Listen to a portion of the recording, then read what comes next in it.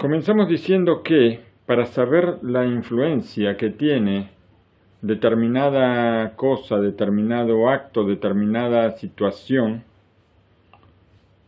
sea de la clase que fuera, todo esto se mide de acuerdo al, vamos a decir, al ruido que hace, el ruido, al, al, al, a la respuesta que esto tiene.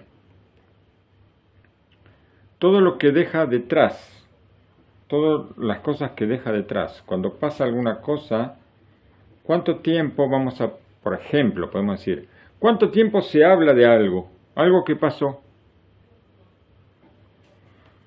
En las oraciones que nosotros recitamos en los días de fiesta, nosotros pedimos, Beasienu Hashem Eloquenu et Birkat Moadeja, que Hashem ponga en nosotros la bendición de las fiestas, de estos tiempos de fiesta. Nosotros tenemos la esperanza de que Hashem nos ayude a que toda la bendición de la fiesta nos acompañe, nos acompañe en los días siguientes, los días que vamos a decir días comunes. Tenemos nosotros días que llamamos días festivos y tenemos días que los llamamos así en hebreo, así se dice, días comunes, que normalmente hay gente que tal vez la traduce no en forma correcta, días profanos, no son profanos. Tenemos días santos y como no son santos, los llamamos profanos, pero en realidad son días comunes. Julín, días Julín quiere decir comunes. Entonces, ¿qué pasa? Que durante los días comunes nos acompañe la santidad de estos días sagrados. Y también en el acontecimiento del monte Sinai, en la entrega de la Torá, nosotros podemos ver que este acontecimiento tuvo un ruido muy, o sea, después de la entrega de la Torah. Moshe Rabenu dijo en ese entonces que Levabur Nasot Ethem va a Elohim. Eh, ¿Dónde está eso? Bueno, no me dice aquí dónde está el versículo y tal vez no lo pronuncie bien. Pero, para explicar el versículo vamos a ver lo que dice Rashi. Rashi nos explica. La Shon Arama u Gedola. Esto está hablando de un, un lenguaje que eleva y engrandece. Y más, para que haya temor en sus rostros y que no vayan a pecar. Y explica Rashi, por cuanto que ustedes vieron vieron a Hashem y es digno de sentirse atemorizados por la grandeza. Sepan que no hay como Él. Y tienen que temer de Él. Y esta grandeza y este temor, esto es lo que nos va a llevar, esto es lo que nos va a quedar de este acontecimiento tan grande y tan terrible que fue la entrega de la Torah.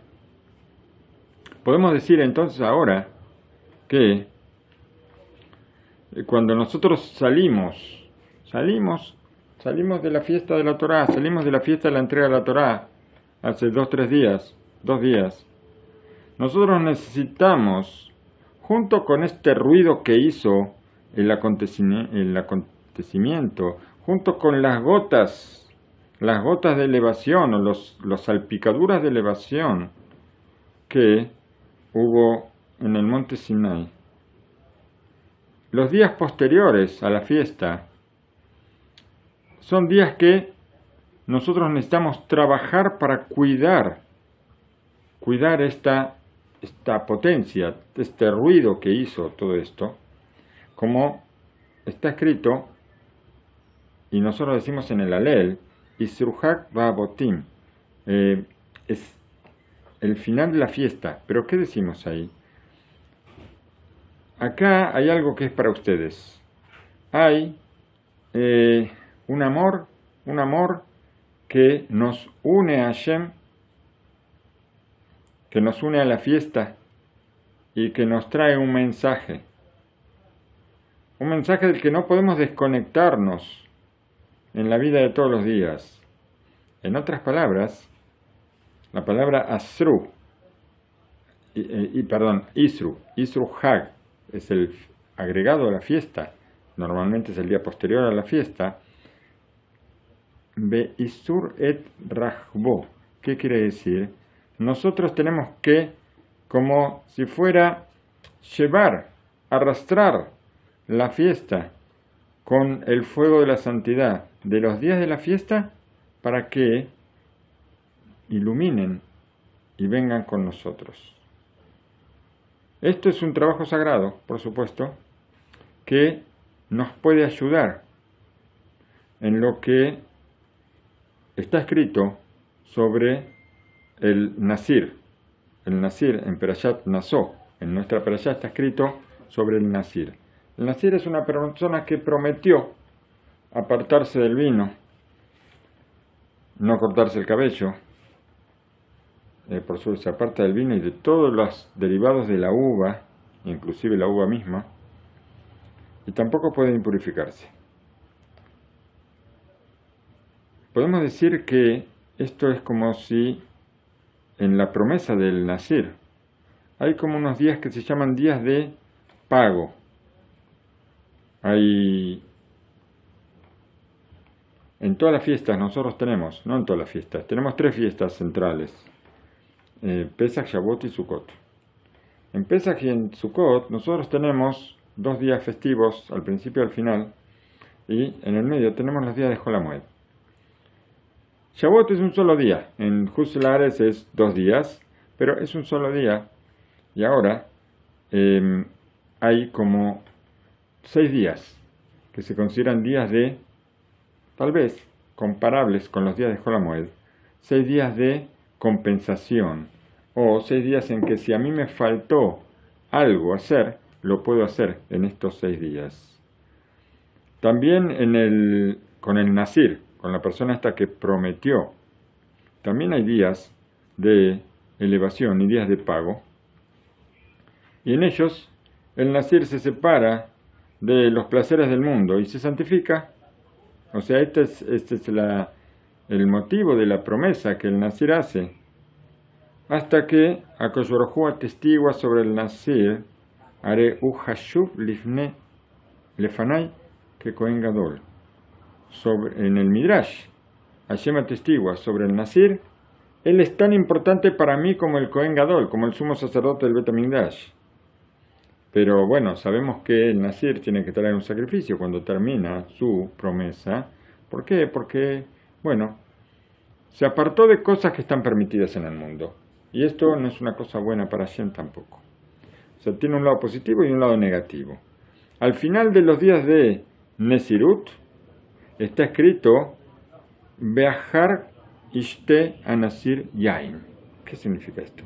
Y después, o sea, cuando termina su promesa, está escrito, y después el Nasir va a tomar vino. Y acá hay una contradicción, una contradicción terrible.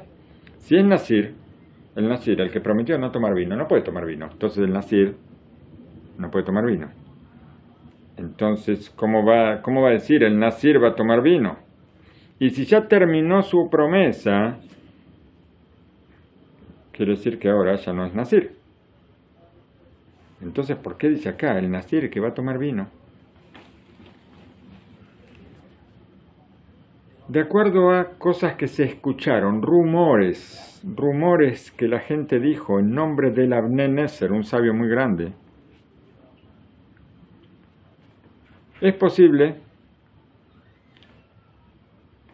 es posible que una elevación, una elevación en un momento de, en un momento de, eh, vamos a decir, de separación. No es una cosa muy grande. ¿Qué estamos diciendo? El Nasir, él se, separa, se aparta, se aparta de la impureza, se aparta del vino, de los derivados de la uva, y se aparta de, o sea, no se corta el cabello, se aparta de varios de los placeres mundanos. Nos dice la Neneser algo muy, pero muy grande, muy importante. Una persona, el hecho de elevarse cuando yo me separo de cosas que me hacen mal, no es una cosa muy grande. Esto no muestra una alta categoría. ¿Qué quiere decir?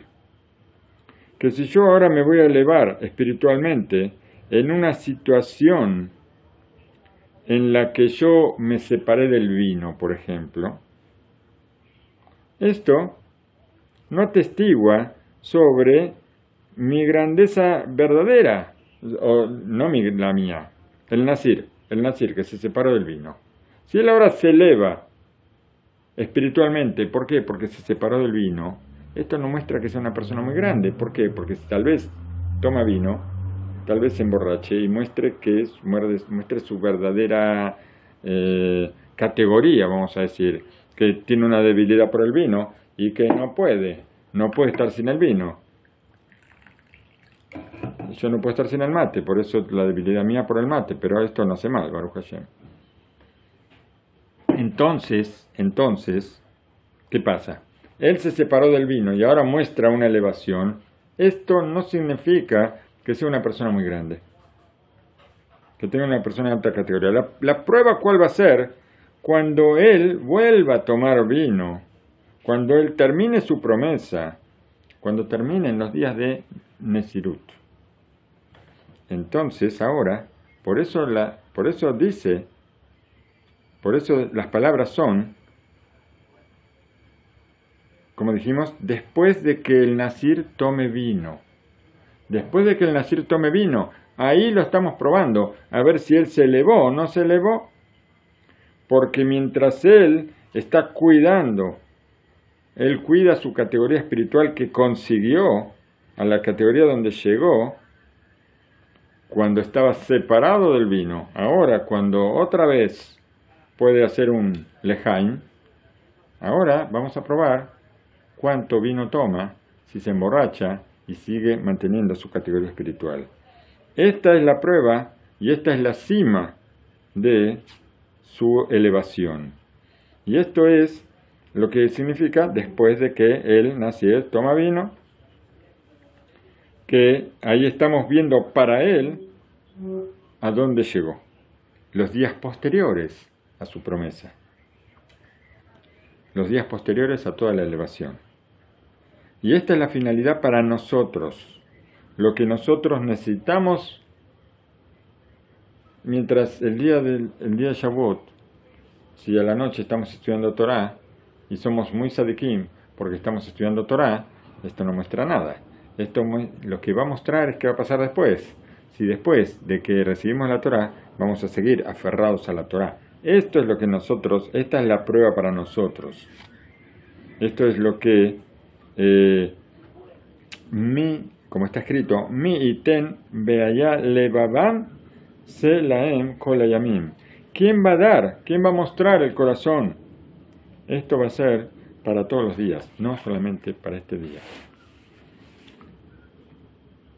Y si nosotros queremos, si nosotros queremos, eh, si nosotros pedimos a Shem que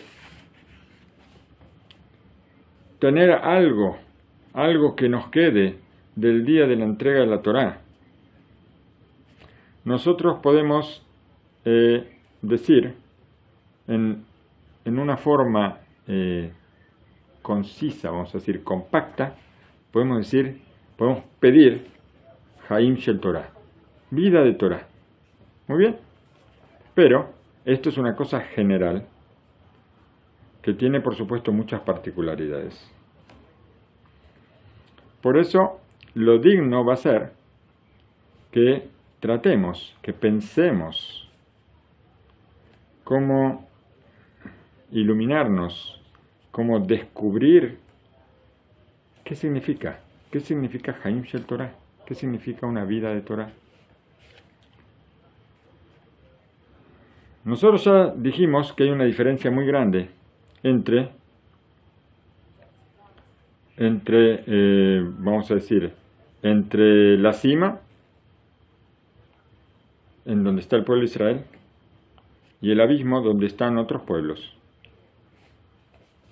En cuanto a, o sea, con respecto a la voluntad que hubo de recibir la Torah.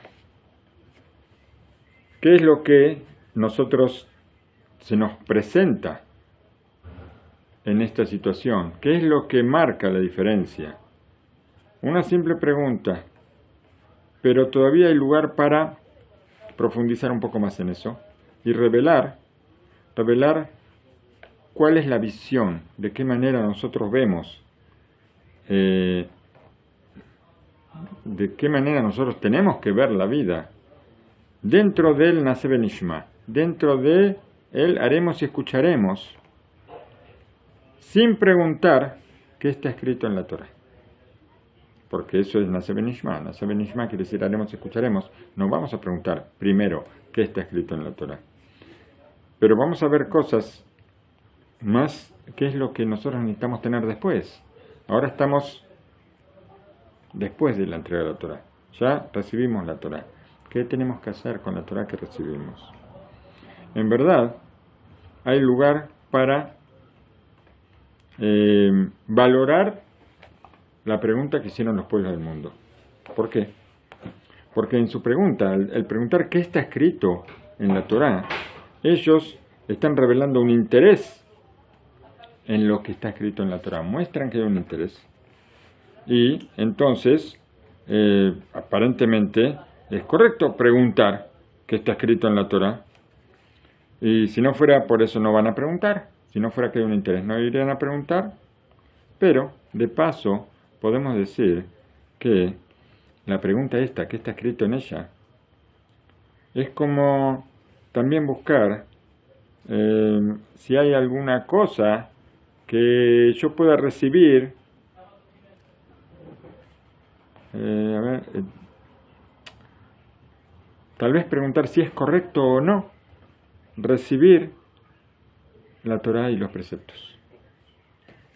Y quien pregunta así, tal vez está declarando que no está dispuesto a recibir la Torah sin condiciones.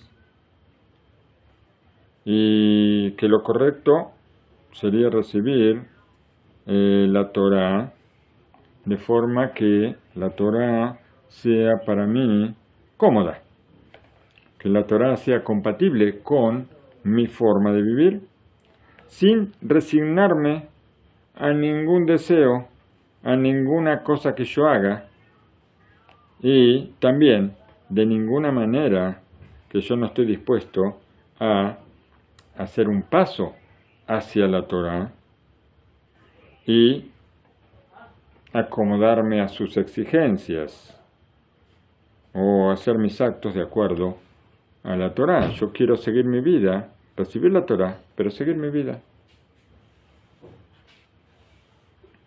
Frente a esto, el, lo que hizo Israel, Nase Benishma, voy a hacer y voy a escuchar. Esto es una, una forma de, o sea, muestra una anulación completa de mi voluntad.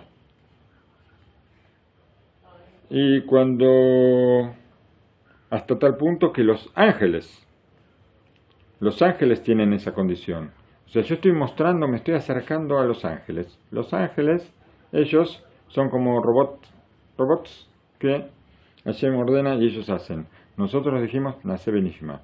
Desde luego, nosotros no somos ángeles, no somos robotitos, sino que tenemos libre albedrío, tenemos la posibilidad de elegir entre el bien y lo mejor. Y siempre que elijamos para bien, que elijamos para la vida, con la ayuda de Pero em,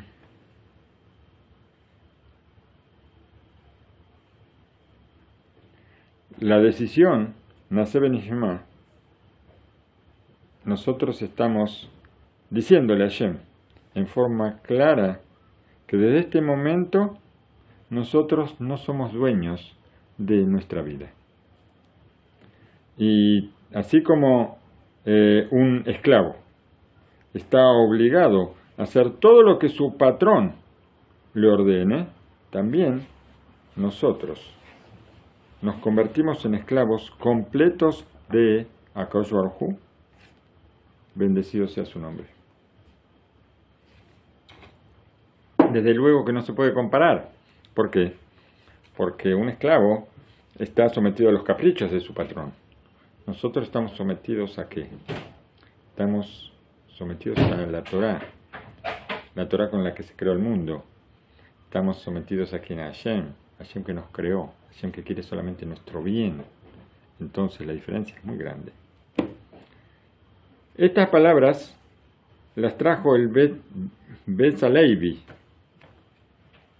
Y en estas palabras trajo una contradicción. No, tal vez una pregunta, no una contradicción. Eh, a ver. Una contradicción en esta adquisición de Nasebe Nishma, en esto de haremos y escucharemos. Es sabido lo que dijo el Rambam, ustedes lo saben, yo no lo sé, lo voy a leer ahora, que una persona que se obliga a algo que no tiene eh, límite, vamos a decir, esa obligación no cae. Vamos a decir, yo me comprometo a hacer algo, me comprometo a hacer algo que no sé lo que es, y que tal vez no tenga límites, y tal vez me obligue a muchísimas cosas que no las conozco. Si yo aseguro a una persona que voy a hacer todo esto, esta, esta seguridad no recae.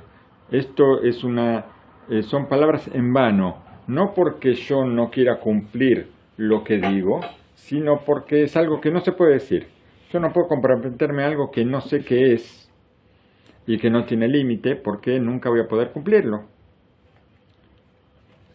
Y, por ejemplo, si yo me comprometo, hago una, una promesa, una, un juramento, de que voy a hacer todo lo que diga mi compañero, esto no recae, no recae obligación sobre mí. ¿Por qué? Porque en el momento que yo hago este compromiso, yo no sé qué me va a ordenar mi compañero, qué se le va a ocurrir, qué locura va a tener, no sé. Y entonces no me puedo comprometer a una cosa así. Yo lo digo, pero, pero no es cosa de que yo no lo vaya a cumplir, sino que, según la alajá, esto no, es como si no hubiera dicho nada. Entonces, está difícil. ¿Por qué está difícil? ¿Cómo puede caer la obligación sobre el pueblo de Israel cuando nosotros nos obligamos antes de saber los detalles? Nosotros dijimos, Nace Benishma, haremos, escucharemos, sin saber lo que está escrito en la Torah.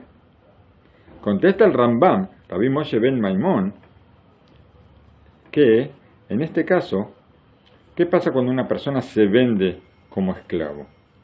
A pesar de que esto lo obliga a hacer todo lo que su patrón le ordena y él no sabe lo que va a hacer, acá hay una diferencia en lo que hablamos. En lo que yo voy a hacer todo lo que mi compañero ordene, a, que yo me venda como esclavo y voy a hacer todo lo que mi patrón ordene. ¿Por qué? Porque el que se vende a sí mismo como esclavo, él no recibe no recibe sobre él la obligación, sino que ahora el patrón adquiere el cuerpo de esta persona y entonces ahora eh, cae la obligación de hacer todo lo que el patrón le ordene. De acuerdo a esto, nosotros encontramos que al decir Nace Benishma, esto muestra una anulación de la voluntad propia. Y entonces hay un reconocimiento de que no hay ningún otro valor en el mundo aparte de la Torah. Esto es lo que yo estoy declarando con el Naseb Nishma. Por eso, todo el que recibe sobre sí la Torah y los preceptos, él está apartándose, apartándose de toda otra voluntad que pueda provocar una cosa contraria al espíritu de la Torah. Y toda, toda su, todo su ser todo el ser de la persona y también todas sus acciones y todas sus, sus, sus movimientos, de ahora en adelante son exclusivamente según la Torah. Y esto es lo que nosotros podemos describir como Haim Shel Torah, como vida de Torah. Esta forma de conectarnos con la Torah, que es contraria, completamente contraria al camino de todos los pueblos que ellos quisieron, que ellos eligieron en el momento de la entrega de la Torah. Cuando preguntaron qué está escrito ahí, ellos no querían adaptarse a la Torah, sino que la Torah se adapte a ellos. Ellos no estaban dispuestos a recibir la Torah que les exigía a ellos un cambio en la forma de vida, un cambio de que les prohibía el asesinato, el robo o el adulterio, por ejemplo. Por eso ellos apartaron su mano de la posibilidad de recibir la Torah cuando supieron que en la Torah estaba escrito no matarás, no robarás o no cometerás adulterio. Bueno, la diferencia de la que estamos hablando entre Israel y los pueblos está incluida en las palabras de nuestros sabios. Im yomar adam yesh bagoim tamin. Si, te van a, si una persona va a venir a decirte que hay sabiduría en los pueblos, créele. Yesh Torah bagoim al tamin. Pero si te dicen que hay Torah en los pueblos, no le creas. ¿no? A eso no hay que creer. Vamos a ver por qué. ¿Qué estamos diciendo Torah? Vida de Torah. Vida de Torah sin pesharot, sin acomodamientos. La vida de la Torah, nosotros sabemos que cuando hay una discusión entre dos personas, hay lo que se llama, o cuando hay un juicio entre dos personas, en hebreo se dice peshará. Peshará quiere decir un acuerdo. Uno dice blanco, otro dice negro y llegan a gris. Y se ponen de acuerdo los dos. No va a ser ni blanco ni negro, va a ser gris, pero bueno. La cuestión es que se pongan de acuerdo. Para que nosotros tengamos una vida de Torah, no hay acuerdos. O vamos a tener una vida de Torah, o vamos a tener una vida que no es de Torah. Porque así yo escuché de Jacob Neumann, que él dice que en la Torah no hay grises, o es blanco o es negro. Yo digo esto es blanco y no puedo decir es blanco, pero es un poquito, está un poquito oscurito y está un poquito, entonces no es blanco. Lo mismo pasa con la verdad. Yo no puedo decir que una cosa sea 95% verdad. Si tiene un 5% de mentira, ya es mentira la verdad o es verdad o no es verdad. Cuando ya cambia un poquito la verdad, ya deja de ser verdad. No va a ser un poquito más verdad que un poquito menos de mentira y un poquito... No, no hay, no hay. Y lo mismo pasa con la Torah. Yo no puedo cambiar la Torah, no puedo hacer acomodamientos con la Torah. La Torah me dice blanco y es blanco, la Torah me dice negro y es negro, la Torah me dice rojo y es rojo. Pero yo no puedo hacer distintas tonalidades, no puedo cambiar las cosas a mi gusto. Nuestros sabios, ellos ya, ellos se rompieron, se quemaron las pestañas descubriendo lo que, lo que la Torah nos vino a enseñar. Y nosotros estamos en una categoría tan pero tan baja respecto a los sabios que hubo en la antigüedad, que escuchamos lo que ellos dijeron, sabemos que ellos lo hicieron todo sin ningún interés y que es la verdadera, la verdadera concepción la verdadera explicación de las leyes. Tanto hicieron, tanto, tanto, tanto, tanto, que no hay, no hay, no hay forma de negar las, las cosas que ellos descubrieron a partir de la Torá, escrita y oral. Todo esto es, es una, una herencia que nosotros tenemos que no nos alcanza la vida para estudiarlo. Y menos se nos puede ocurrir cambiar, cambiar alguna cosa. Eh, entonces, ¿qué pasa? nuestros sabios dijeron, si una persona dice que hay sabiduría en los pueblos, le podemos creer. Pero si una persona dice hay Torah en los pueblos, no le creemos. ¿Por qué? Porque no solamente nosotros tenemos una vida de Torah sin, sin, sin cambios, sin eh, acomodamientos. Una persona que está aferrada a la Torah, hay una expresión en hebreo que se llama Ben Torah, hijo de la Torah. Esta persona está atada a la Torah con la misma conexión o conectada a la Torah con la misma conexión que entre un padre y un hijo, que es una conexión eterna. En cambio, la sabiduría, una sabiduría cualquiera, cualquier sabiduría, no la Torah, cualquier sabiduría, no me obliga a hacer ninguna acción. Es conocido el relato sobre Aristo, o tal vez lo conocen como Aristóteles, uno de los grandes sabios de Grecia, de la Grecia antigua, que cuando una vez lo encontraron sus alumnos haciendo cosas muy extrañas, muy bajas, él dijo, ahora yo no soy Aristo, ahora soy una persona común. Cuando estoy enseñando, cuando estoy en una posición de honor, soy Aristo, pero hay momentos que no. Y esto es la sabiduría de los pueblos. Es una sabiduría, es un conocimiento que no me obliga a tener determinada conducta.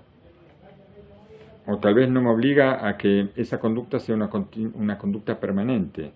Eh, o sea, que yo puedo portarme como quiera. Hoy soy y mañana no soy. ¿Por qué? Porque hoy sé y mañana prefiero no saber o pensar que no sé. Se podría decir entonces que cualquier persona de otro pueblo no está obligada a mantenerse dentro de un esquema que lo obliga a determinada conducta. Inclusive la misma sabiduría lo libera de vez en cuando de, de, de lo que la sabiduría le enseña. Y esta persona puede comportarse como una persona sin ninguna sabiduría. ¿Por qué? Porque no está dispuesto a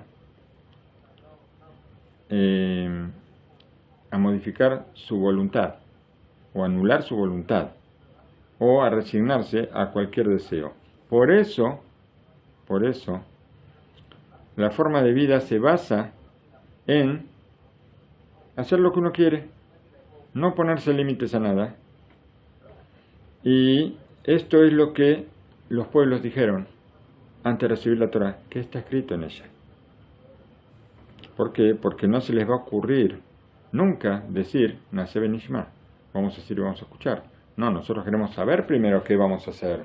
Yo no puedo hacer algo que esté en contra de mi comodidad, de mi forma de vida libre. De las palabras de la Gemara al principio del Tratado de Abodazará, nosotros estudiamos que esta, este comportamiento siguió a los pueblos para siempre. No solamente antes de recibir la Torá, los pueblos preguntaron qué estaba escrito, sino que también al final de los días está escrito que en el futuro Hashem va a venir con un Sefer Torah, eh, como abrazando un Sefer Torah, en forma figurativa, por supuesto, va a presentarse abrazando un Sefer Torah y va a proclamar todo el que se ocupó de ella, que venga a recibir la recompensa. Y no fuimos nosotros los que fuimos a buscar la recompensa primero, sino que fueron todos los pueblos. Todos los pueblos fueron a buscar recompensa. Todos se juntaron, todos los pueblos idólatras, y dijeron delante de Hashem, Vivoy no Señor del mundo, yo quiero, yo quiero ser el primero en recibir la recompensa. A les dijo, ¿qué hicieron? Y empezaron a decir las cosas que hicieron y que le hicieron solamente para la Torah y para Israel. Y Hashem les dijo, ustedes son Shotim Sheba Olam, son los tontos más grandes del mundo. La persona que se esforzó en la víspera de Shabbat va a comer en Shabbat. Y el que no se esforzó en la víspera de Shabbat no va a comer en Shabbat. ¿O qué va a comer en Shabbat? Pero con todo eso, yo les voy a dar un precepto muy simple. Un precepto muy simple que se llama Sukkah. Vayan y construyan la Sukkah. Enseguida todos, todos fueron y construyeron la Sukkah sobre los techos. Acá no dice, no recuerdo por qué, exclusivamente sobre los techos, porque podían haberlo hecho en el patio también, ¿no es cierto? Creo que en los techos lo hicieron para qué? Para que nadie pueda subir, para no ofrecerle el azúcar a nadie. Si yo hago el azúcar en el patio de mi casa, en el patio, al lado de la calle, todo el mundo puede venir a entrar, puedo abrir, dejar la puerta abierta para que todos entren. Pero si yo la hago en el techo, entonces la azúcar es mía, es para mí y nadie más la va a usar porque la escalera la tengo dentro de la casa y no por fuera. El Koyorhu, ¿qué hizo? Sacó el sol de su estuche y hizo que el sol brillara como en la época de Tamuz. Tamuz, para los que vivimos aquí en Eres Israel, sabemos que Tamuz es fuego. Y cada uno, todos los todos, cuando sintieron ese calor tan fuerte, ¿qué hicieron? Salieron, salieron de la azúcar y las patearon. Y, y Em, se desconectaron del precepto del azúcar que Hashem les dio. Así dijo Rashi. Y dijo Raba, ahí en la Gemara, una persona que está sufriendo, una persona que sufre cuando está cumpliendo un precepto, está libre del precepto. Si yo estoy sufriendo en la azúcar, si empieza a llover en la azúcar, ¿estoy libre de cumplir el precepto del azúcar? Si el sol quema muy fuerte y hace mucho calor, y no tengo como algunas sucot que hay hoy en día que tienen aire acondicionado dentro de la azúcar también, yo no tengo aire acondicionado ni ventilador en la azúcar y hace mucho calor, entonces puedo salir, estoy libre de cumplir el precepto, pero eso no significa que yo voy a patear la azúcar, como hicieron todos los pueblos. Nosotros vemos acá que también después de que ellos, primero, cuando quisieron recibir la Torah, preguntaron qué está escrito. Después, cuando Hashem dijo todo el que se ocupó de la Torah venga a recibir premio, dijeron, salieron corriendo a recibir premio y ellos no habían hecho nada por la Torah. Y Hashem les dijo, está bien, está bien, les voy a dar, les voy a dar un precepto simple, muy simple, la azúcar. ¿Y qué hicieron? La patearon. La patearon y esto está, por, por supuesto, está muy alejado de lo que es Nase Benishma.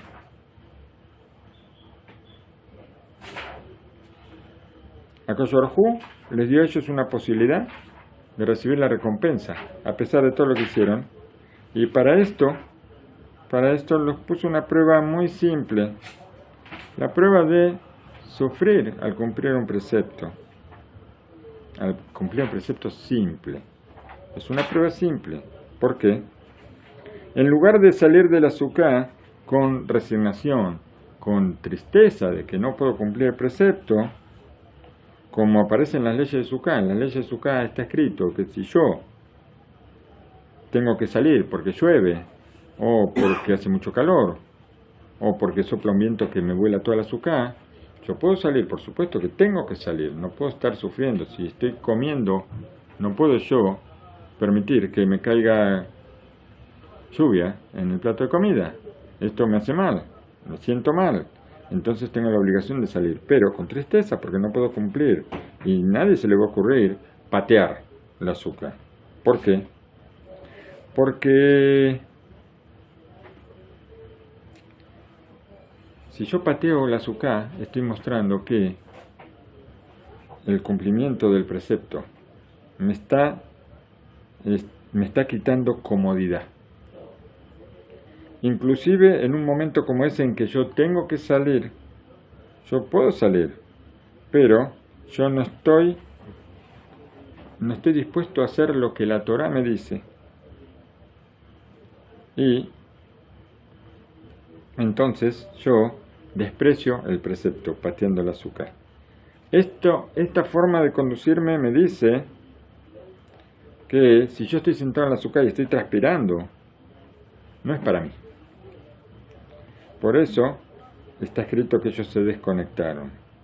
Y por cuanto que el precepto está en contra de lo que yo creo que es agradable, de lo que es agradable para mi cuerpo, entonces esto yo siento que me daña y puedo desconectarme en forma violenta.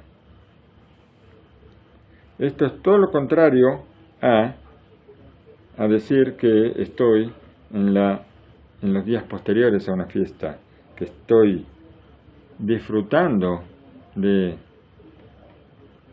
la, lo que la fiesta me deja. Y todo esto, por supuesto, que eh, es el mensaje que nos deja la fiesta para mantenernos con la conexión. Y ya dijeron, ya dijeron, eh, a ver qué es lo que dijeron, que im, hidrash, ya dijeron nuestros sabios que si se le exige a una persona de otro pueblo que se siente en el Beta Midrash, en la casa de estudio, y que se ponga a estudiar, esto para él va a ser como un infierno, un infierno terrible. ¿Por qué? porque esto exige una entrega, exige, un sacrificio. Y sobre esto dijeron nuestros sabios que la sabiduría en los pueblos creemos, pero la Torah no. ¿Por qué? Porque ellos pueden crecer en sabiduría todo tiempo que esto no afecte, no les exija condiciones que tengan que cambiar. Pero la Torah en los pueblos no le creemos. ¿Por qué? Porque la Torah, la Torah muestra un, nos enseña un camino, nos enseña una forma de vida y esto es algo que la gente tal vez no está dispuesta a soportar. Piensa que eh, yo, yo tengo mi forma de vivir, yo quiero vivir así y nadie va a cambiar mi forma de vida. Abraham vino y Lot. ¿Quién era Lot? Lot era el sobrino de Abraham.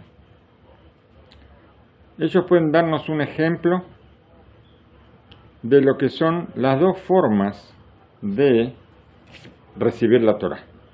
Recibir la Torah en una forma anulando mi voluntad o recibir la Torah buscando mi conveniencia. Vamos a ver.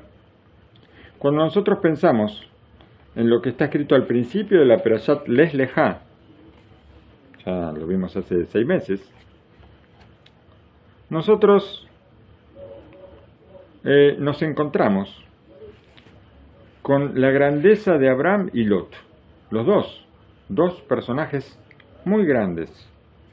Abraham cumple todo sin pensar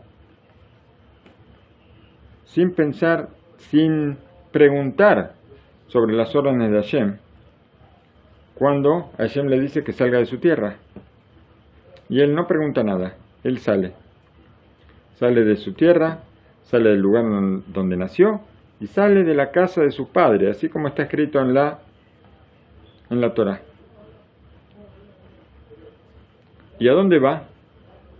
Va a una tierra que él no sabe cuál es es un Asebenishma esto también, es un haremos y escucharemos, porque Hashem le dice, sal de tu tierra, del lugar donde naciste, de la casa de tus padres, al lugar que te indicaré, al lugar que te diré, ¿a qué lugar? No, te lo indicaré, todavía no sé, tú ve. Bien, con él, ¿quién está? Lot, el sobrino. Es una prueba muy grande para Abraham y también podemos decir que es una prueba muy grande para Lot, y tal vez una prueba mucho más grande. ¿Por qué? Porque, ¿qué es lo que hay agregado para Lot? Frente a, a la misma prueba que tiene que pasar Abraham. Lot no fue ordenado. La orden fue para Abraham. Lot está acompañando a Abraham, acompañando al tío. Y entonces, como no fue ordenado hacer esto, la prueba para él es mayor. Y de acuerdo a la grandeza, esto nos trae una pregunta.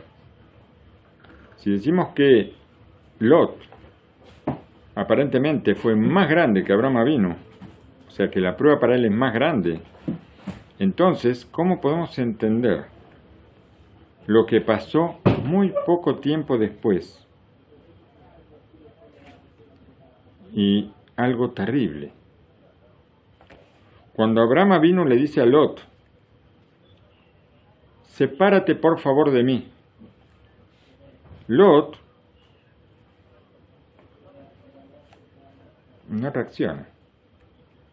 Tenía que haberse puesto a llorar. Tenía que haberle dicho al tío, tío, déjame estar contigo. Si yo todo lo que soy, soy gracias a ti. Pero él, sin dudar, elige ir a Sedón, una tierra que está regada una tierra fértil, una tierra donde ve que hay riqueza, y ahí elige ir Lot. Y él no tiembla al saber que la gente de Sedom era tan mala y tenía, tenía costumbres muy bajas, tenía una ley que es la ley de la antiley, donde no existía el reproche, no existían las cualidades, no existía nada. En Sedón no se podía hacer nada bueno por el otro. El que hacía algo bueno por el otro lo mataban. Y él va a vivir ahí sin problemas. Estando con Abraham vino. Se va a Sedón. Y no solamente eso, sino que cuando está ahí, cuando está ahí en Sedón, él proclama, no es posible para mí, ni Abraham, ni su Dios. No puedo soportarlo, ni Abraham ni a su Dios. Como dice una cosa así, así, así explica Rashi. Que estas son las palabras de él. ¿Cómo es posible una caída tan fuerte, tan drástica, un cambio de punta a punta, saltar de la cima, caer al fondo del pozo? ¿Cómo es posible una cosa así?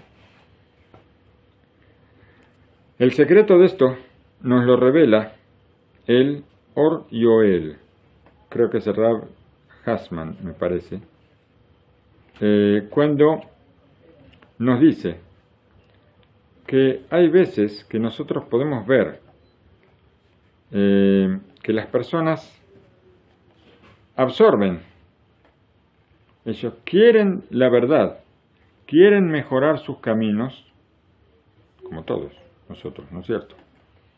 Pero con todo eso, no cambia.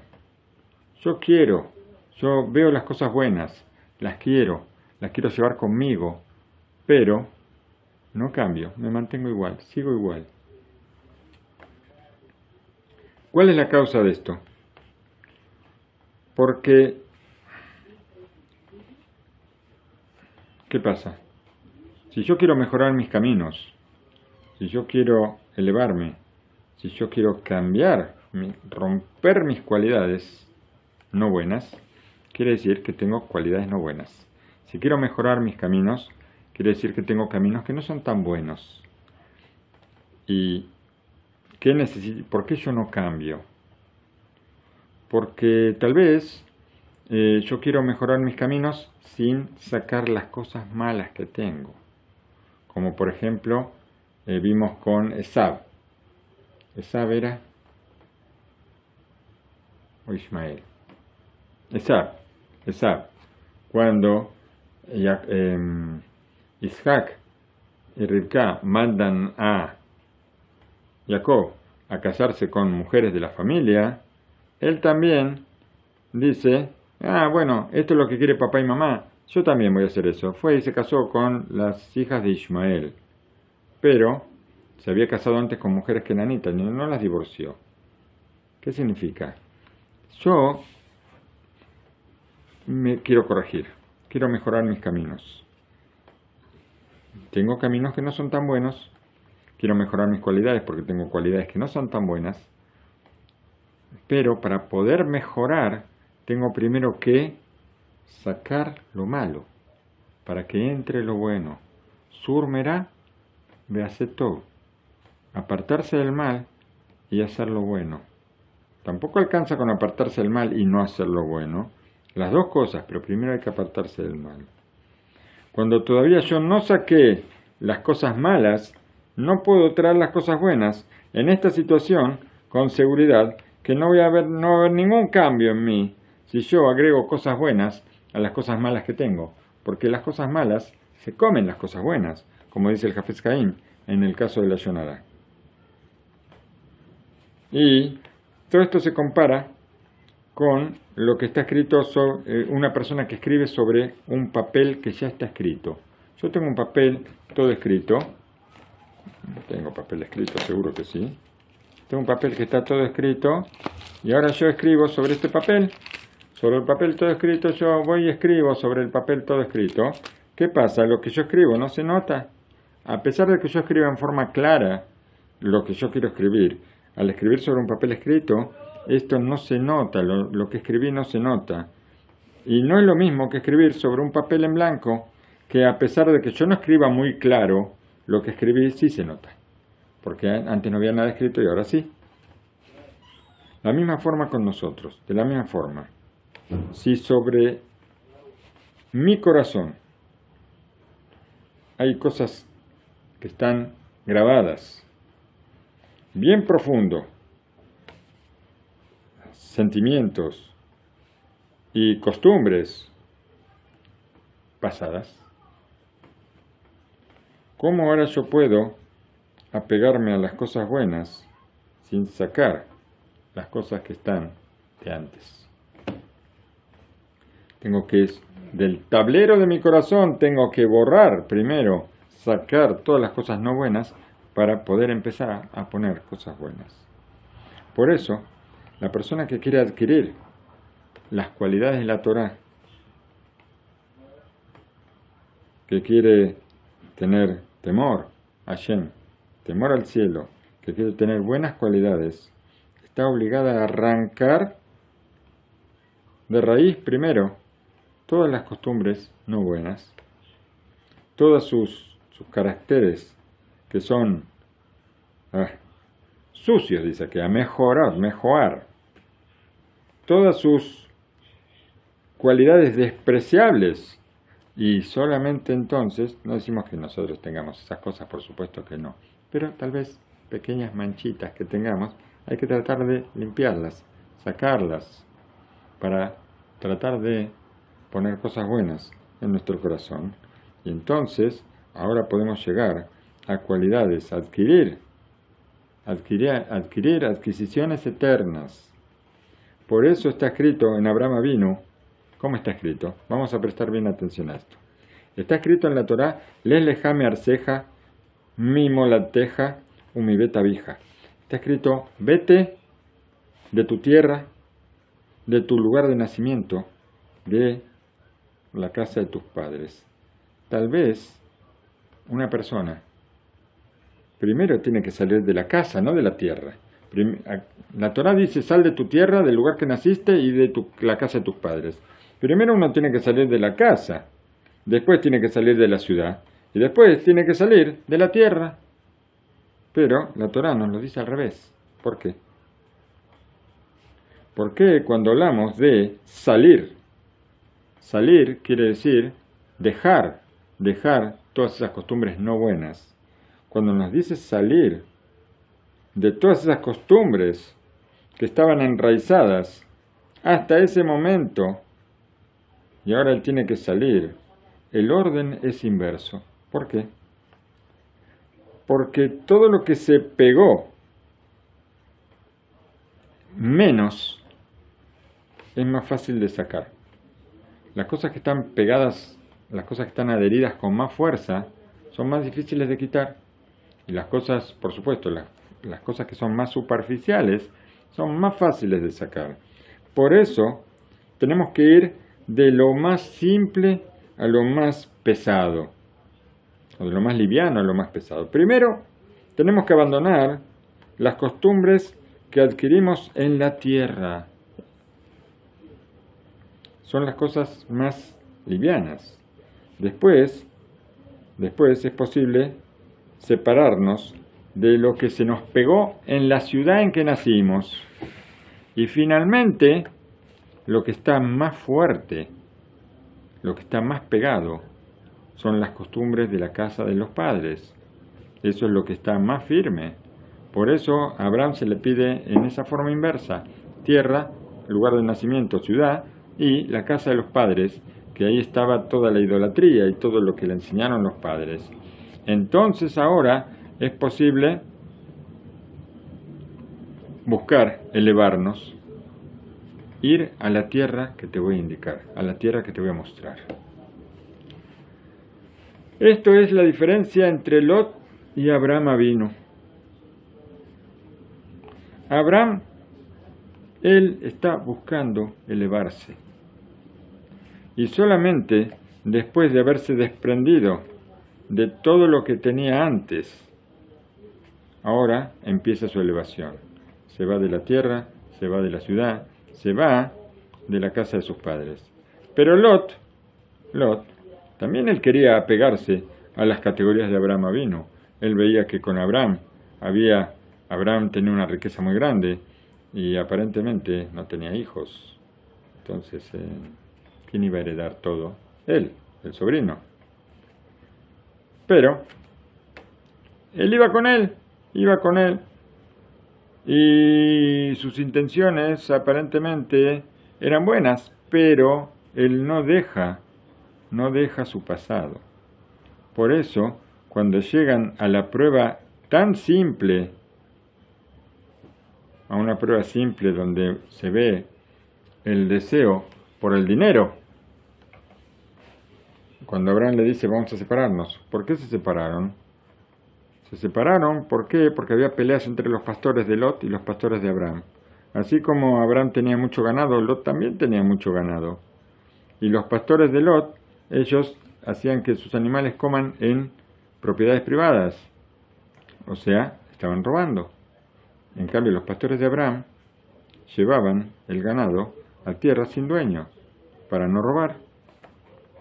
Entonces Abraham dice, no, tenemos que separarnos. ¿Por qué? Porque no podemos pelearnos, somos hermanos. Y cuando se presenta esta prueba, ahora se muestra lo que Lot no sacó de su persona. O sea, ¿qué es lo que nos sacó? Nos sacó, nos sacó su, sus, costumbres, lo que él traía, su deseo por el dinero, algo que estaba muy fuerte en su interior, hasta que abandona Abraham vino y desciende hasta el abismo más profundo, uniéndose a la gente de Sedón. ¿Cuál es la regla en todo esto? en todos los temas espirituales que nos conciernen, hay que sacar, separarnos del mal primero, sacar todo el mal que está en nuestro interior. Y esto fue las palabras del Or Yael, Or Yoel, que dijimos que nos iban a aclarar las cosas. De acuerdo a todo esto, podemos agregar y decir que también hacia afuera se ve en Abraham y Lot que aparentemente ellos tenían, o sea, vista en forma exterior, podemos decir, que ellos están frente a la misma prueba de vete de tu tierra. ¿Por qué? Eh, vimos que interiormente estaban muy alejados unos de otros. Había una diferencia muy grande. Pero aparentemente en, lo exterior, aparentemente estaban iguales.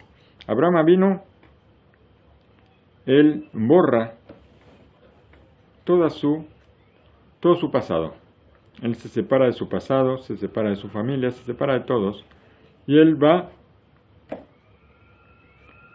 con su corazón para recibir el reino del cielo.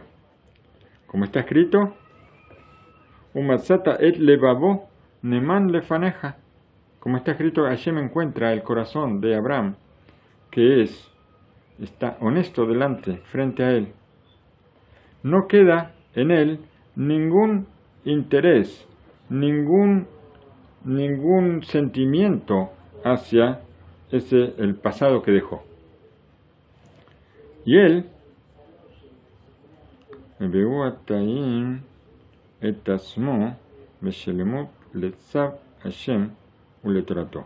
y él se entrega a sí mismo completamente a la orden de Hashem y a su Torah.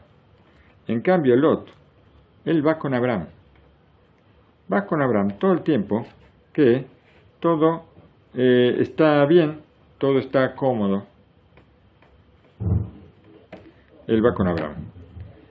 En forma, mirando desde afuera, nosotros mirando, aparentemente vemos que eh, él es uno más de la gente de Abraham hasta que eh, podemos decir que, a ver, et abro lo akar mitojo, pero él no dejó el pasado atrás y él hace una cuenta, hace un cálculo que es eh, por el momento es conveniente estar con Abraham. ¿Y por qué? Porque va a heredar. Va a heredar toda la riqueza. Toda la riqueza de Abraham la va a heredar él. Él tiene su riqueza, pero también todo lo que tiene Abraham vino va a quedar para él. Tal vez cuando él ve la riqueza que hay en Sedón, los ojos se le salen. Él ahora ve esos campos regados, él va con Abraham por el desierto, no hay agua, no hay comida, con tanta dificultad le da de comer a los animales, y a pesar de que es rico, eh, él ve la riqueza de Sedón, ve que Sedón es una fuente de riqueza impresionante, los campos regados, fértiles, y esto le, se le desbordan los ojos, y decide, yo no puedo ni con Abraham ni con su Dios, y se desconecta. Y por supuesto que para Abraham la conducta de Sedón, para Abraham y su casa la conducta de Sedón es algo tan despreciable y no quieren saber absolutamente nada, no le interesa absolutamente nada, le interesa la riqueza de Sedón. Pero para Lot no es posible para él vivir ni con Abraham ni con su Dios. Es posible que esta sea la explicación de la diferencia entre también entre Ruth y Orpa. La Miglat Ruth que leímos en Shavuot. También ellas iban juntas, iban juntas por un camino muy largo, junto a su suegra, Naomi. Y em, a pesar de que Naomi les decía que no vayan con ella, porque una vez que habían muerto, había muerto el marido de Naomi y habían muerto los dos hijos de Naomi, que eran los dos esposos de ella, de Ruth y Orpá. Ellos eran princesas de Moab. Y Naomi le decía, quédense en Moab y tengan vida de princesas. Pero ellas seguían y seguían con Naomi. Dijeron nuestros sabios, Tashkoho She'en me al Hot u Bohot. A ver, ¿qué es esto?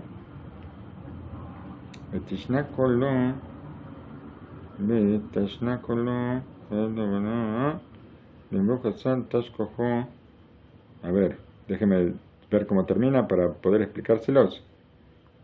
ine, el pasuk, nimar, baltashk orpa, le, hamota, berut de bekaba.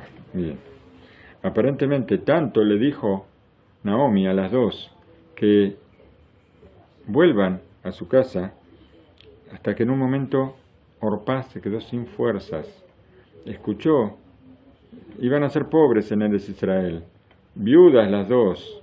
En cambio, ella podía volver a Moab, a ser rica, a ser la princesa otra vez de Moab. Y se quedó sin fuerzas, ya no podía, se debilitó, se debilitó, y entonces ¿qué hizo? Dice el versículo, y Orpá besó a Naomi, besó a su suegra, y se fue, y Ruth se apegó a ella. En el momento de la prueba, cuando las dos estaban ahí frente a Naomi y Naomi les decía que la dejen, ahí salió la verdad, salió la luz. Orpá se supo, ella fue. Estaba con Naomi cuando, cuando todo estaba bien, pensando en, soñando en lo que iba a ser la vuelta con Naomi a la tierra de Israel. Pero Naomi les dijo, no, no va a ser las cosas como fueron hasta ahora. Va a ser muy difícil estar allá. En cambio Ruth, Ruth, ella no le importó. Ella estaba apegada, quería apegarse a Naomi, quería apegarse a la Torah. Y por eso está escrito, Mayerte el Juelej, con yo voy a ir contigo, no importa por dónde. Y sin condiciones. También Ruth hizo su Nasebe Nishma. Y esto es lo que tenemos que hacer nosotros. Nosotros, bueno, nosotros sabemos lo que está escrito en la Torah. Eh, tal vez no podemos saber más. Cada vez a medida que vamos estudiando, vamos sabiendo más lo que está escrito en la Torah.